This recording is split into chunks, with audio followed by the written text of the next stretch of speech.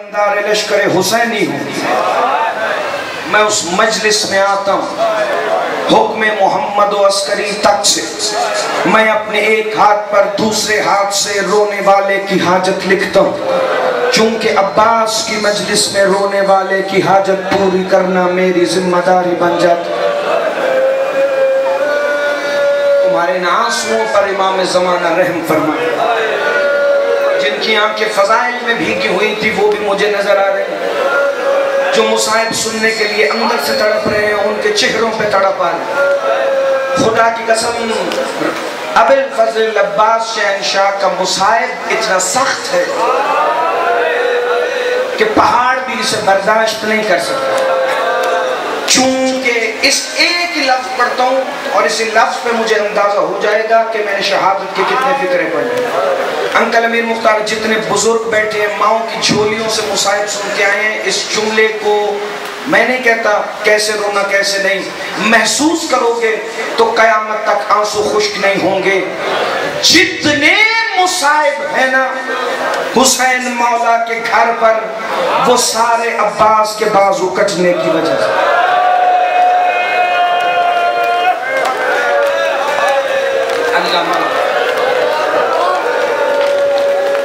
وہ سارے مصائب عباس کی چپ کی وجہ سے، وہ سارے مصائب عطاعت عباس کی وجہ سے۔ میرے مولا عباس کا ایک لقب ہے، کون سنائے گا تمہیں مصائب میں کے بعد العبد الصالح بندے نے مولا صادق سے پوچھا مولا یہ عبد صالح کون ہوتا ہے؟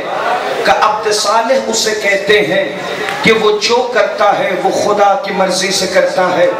بندے نے مولا عباس سے پوچھا تھا کیا آپ ہر کام اللہ کی مرضی سے کرتے ہیں؟ کہاں جو حسین کہتا ہے، عباس وہی کرتا ہے۔ چونکہ عباس حسین کے حکم کو حکم پروردگار سمجھتا ہے ازاداران امام مظلوم، یہ میرے وہ آقا ہیں ابو الفضل عباس جو سارے معصومین کی امیدوں کا مرکز ہیں جیسے سرکار قائم۔ ازاداروں ایک بندے کو خواب میں، میرے بار میں آقا کی زیارت ہوئی۔ انہوں نے کہا، مولا، ہمیں بتائیے کہ مقام ابو الفضل عباس شہنشاہ انبیاء کی نظر میں کیا؟ ہے مولا نے فرمایا، تو میرے ساتھ چل۔ یہ عالم خواب میں بار آقا کے قدموں کے نشانوں کے پیچھے پیچھے چلتا ہوا ایک جگہ آ کے رکا۔ یہ دیکھ کے حیران تھا کہ سامنے حرم ابو الفضل اللباس ہے۔ ایک عراقی تاجر رو رو کے دعا مانگ رہا تھا، میرا بیٹا بڑا بیمار ہے۔ اے بی بی معصومہ کے پاک چچا، اے کاشف القرب ان وجہ الحسین، میرے بیٹے کو شفاء کلی عطا فرما دیں، میرا ایک ہی ایک بیٹا ہے، اگر وہ مر گیا تو پھر عزا کا فرش گھر میں کون بچھائے گا؟ مولا میرا بیٹا مجھے بخش دے کہ ابھی یہ منظر میرے سامنے تھا کہ ایک اور منظر آیا۔ اب میں نے دیکھا بین الحرمین کے دوسری طرف آقا حسین کا پاک حرم ہے۔ اس حرم میں ایک مسند لگی ہوئی ہے۔ اس مسند پہ اللہ کا رسول تشریف فرما ہے اور مولا علی رسول اکرم کے پاس کھڑے ہوئے ہیں۔ لوگ اپنی اپنی حاجات لے کے آ رہے ہیں۔ مولا علی وہ حاجات رسول اللہ تک پہنچاتے ہیں۔ رسول ہر کسی کی حاجت روائی پر دستخط کرتے جاتے ہیں۔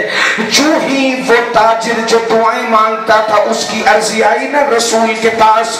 تو رسول نے دیکھ کر کہا، اب تک جیسے راہب کو کہا تھا، اب تک تیرے بیٹے کی قسمت میں شفا نہیں ہے۔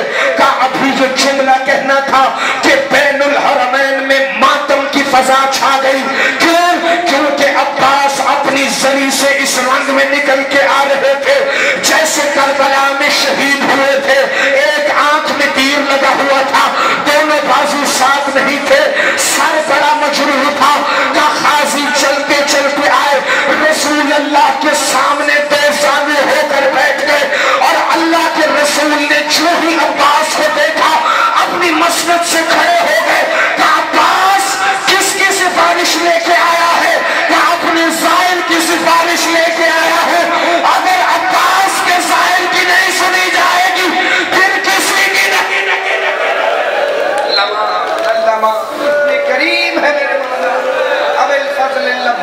اللباس ازاداروں جو دوسروں کی دعائیں رد نہیں کرتا، وہ باب الحوائج اللہ جانے جب چار سال کی معصومہ پانی مانگتی ہوگی، وہ کیسے خاموش رہتا ہوگا؟ میں نے کئی دفعہ تمہارے علاقے میں عباس مولا کی چپ پڑی ہے۔ آج صرف ایک ہی چپ پڑھوں گا، کیونکہ شب عاشور اب الفضل عباس دیکھ رہے تھے۔ سارے خیموں کی حالت مولا کے سامنے تھی۔ شب عاشور، سب کے خیموں سے اللہ تش کی صدایں سن کر آقا حسین کے پاس آئے۔ ایک لمحے کی تمہید ہے، برداشت کر لینا۔ خیمے میں آ کے کہتے ہیں، اے میرے مولا حسین، جو میری ماں نے مجھے درس دیا ہے نا وفا کا وہ مجھے اجازت نہیں دیتا کہ میں آپ سے کوئی سوال خود کروں۔ لیکن مولا، آج میرا ایک سوال ہے زندگی کا، کہ عباس، بتاؤ میرے لال، کیا بات ہے؟ آقا حسین نے مولا غازی کی پیشانی پر بوسا دیا۔ بھائی کے قدموں پہ ہاتھ رکھ کے کہتے ہیں، چند لمحوں کے لیے اپنی ذوالفقار تو مجھے عطا فرمائے۔ آقا حسین نے کہا، عباس، جنگ کا ارادہ ہے۔ کہ بھیا، آپ میرے ارادوں سے مجھ سے زیادہ واقف ہیں۔ میں کچھ ذوالفقار سے دو باتیں کرنا چاہتا ہوں۔ علی کی عزت کی قسم خیمے میں عباس ذوالفقار لے کر آئے۔ جو سفید داڑیوں والے بزرگ بیٹھے ہیں، ہائے ضرور کریں گے۔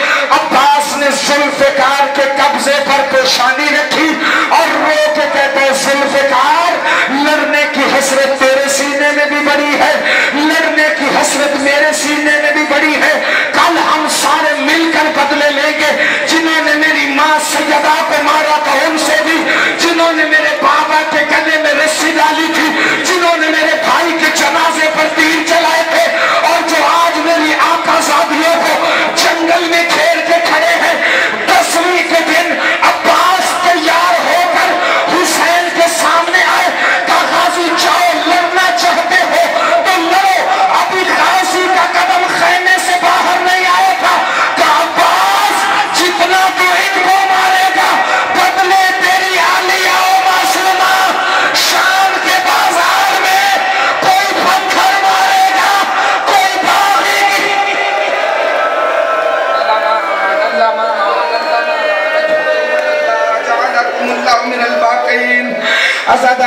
امام مظلوم جو شہادت محرم میں پڑھی جاتی ہیں، میں مکمل شہادت نہ پڑھوں گا نہ پڑھنے کی تاب اس وقت بیٹھتا ہوں چونکہ بزرگوں کی حالت بھی میرے سامنے ہے اور وقت بھی میرے سامنے ہے۔ ازادران امام مظلوم مولا عباس کے دونوں بازو کٹے تھے، یہ آپ نے سنا ہے نا؟ لیکن جس رنگ میں میں تمہیں سنانے لگا ہوں، وہ جملہ میری ماں بہنوں بیٹیوں کے حصے کا ہے۔ آ گئی شام کی من کا قید نبھا کے بھائی کے چہلے کرنے کے بعد مدینے واپس۔ اللہ کے رسول کی قبر پر دو بیٹیاں بیٹھی ہیں۔ ایک علی کی شام والی بیٹی ہے۔ ایک ابل فضل عباس کی مستر وفا اماں ہے۔ جناب سید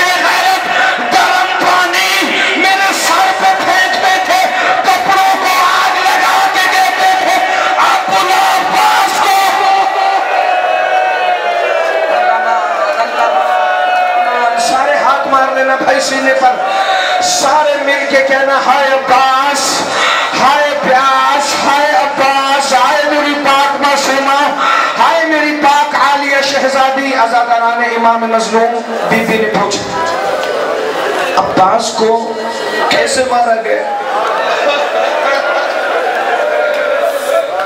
وہ جو ہر عید پر عید کا چاند نہیں، عباس کا چہرہ دیکھتی تھی جس نے عباس کو گود میں پانا صرف علی اکبر کو نہیں، اون و محمد سے لے کے مولا غازی تک، پوری کربلا پال کے جوان کر کے حسین کے حوالے کی تھی علی کی شام والی بیٹی نے۔ رو کے کہہ دیے میرے غازی کو جیسے مارا گیا، ویسے کسی کو نہیں مارا گیا۔ ازاداروں میں کسی ذاکر کی زبانی نہیں، کسی عالم کا فکرہ نہیں، علی کی بیٹی کے فکرے میں تو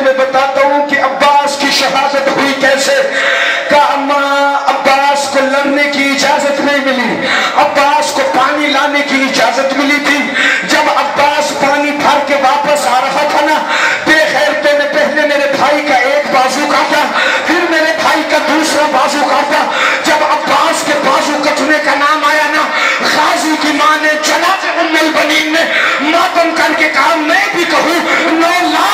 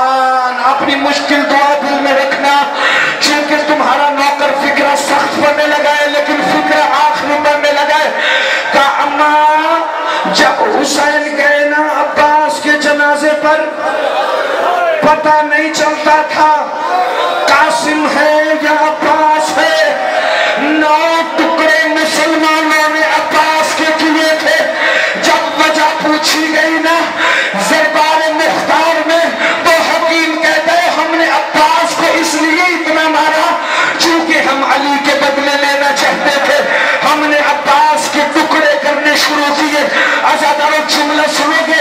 بی بی فرماتی ہے، میرا بھائی جب جا رہا تھا نا عباس کے جنازے پر، ایک دفعہ حسین کا سلجنا روکا، کہا، آگے کیوں نہیں چلتا؟ سلجنا نے روکے، کہا، مولا، ذرا نیچے دیکھ، نیچے دیکھا تو غازی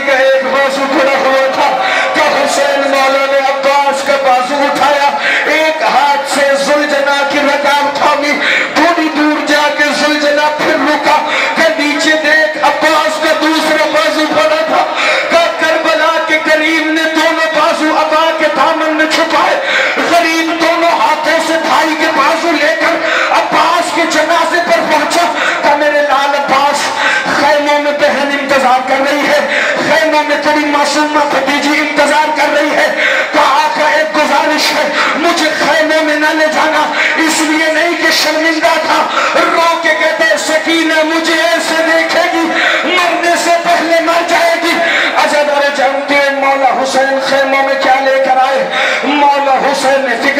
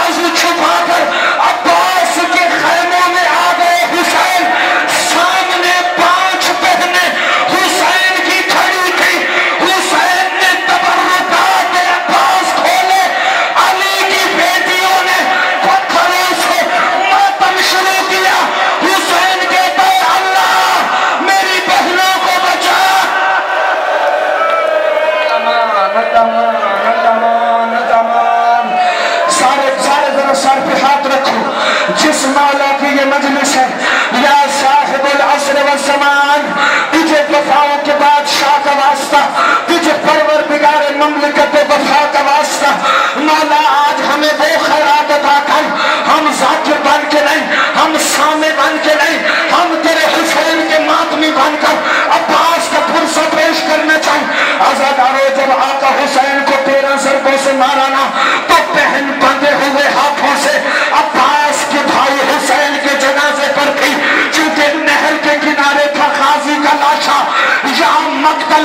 colocar